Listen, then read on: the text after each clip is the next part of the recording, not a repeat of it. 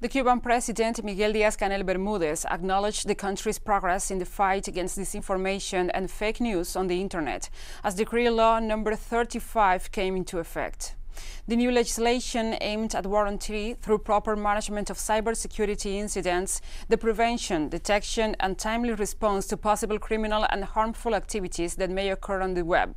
President Diaz-Canel shared an analysis by Spanish researchers Carlos Gonzalez, who warns about the anti-decree campaign that seeks to attack the right to communicate or receive truthful information.